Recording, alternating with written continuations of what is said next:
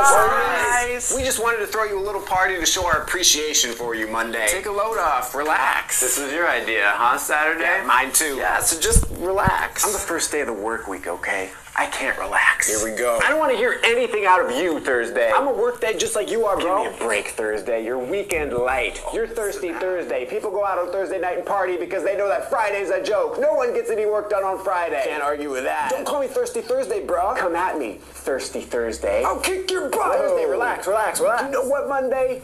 Everyone hates you. Guys, this is supposed to be fun. Look, we got chips. I'm not stupid, okay? I know I'm the worst day of the week. Everyone knows it. I wouldn't say you're the worst. I mean, there are things that people don't like about each of us. Like what? Well, I, I mean, like people don't like me because they get the Sunday scaries. Oh, don't go there. And uh, why do they get the Sunday scaries? Sunday? Well, because the weekend's ending and because, you know, that they, they don't want to go back to work the next day. And what day is that, Sunday?